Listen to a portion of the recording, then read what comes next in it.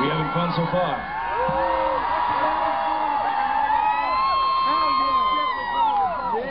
I love you too.